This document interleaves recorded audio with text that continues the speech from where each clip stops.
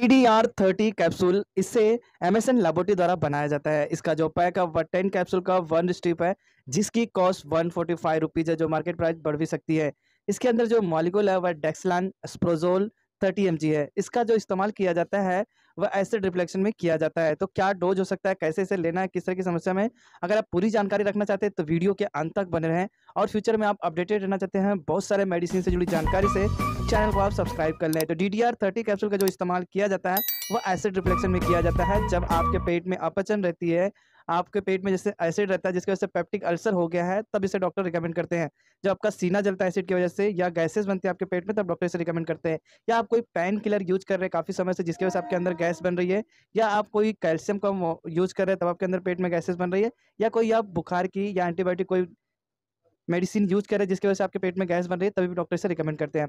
इसका जो डोज रहता है वह ट्वाइस डेली डोज रहता है। खाना खाने से थर्टी मिनट पहले लिया जाता है।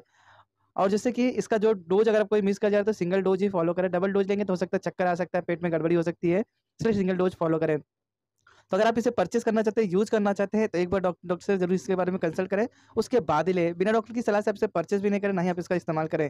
यह वीडियो का एजुकेशन नॉलेज पर्पज के लिए बनाया गया मेडिकल स्टूडेंट के लिए। अगर आप खुद से लेंगे तो आपको कॉमन साइड इफ़ेक्ट देखने को आ सकता है। तो इसे बंद करने से पहले भी आप डॉक्टर से ज़रूर कंसल्ट करेंगे, जिसमें आपको सीना जल सकता है और जैसे कि पेट में गैसेस बन सकते हैं, फ्लैटलेस बन सकते हैं, डायरिया डिसेंट्री हो सकता है और पेट दर्द हो सकता है। तो अगर आप चैनल और वीडियो पर पहली बार विज़िट किए हैं, वीडियो आपको इन्फॉर्मेटिव लगे तो लाइक कर दीजिएगा।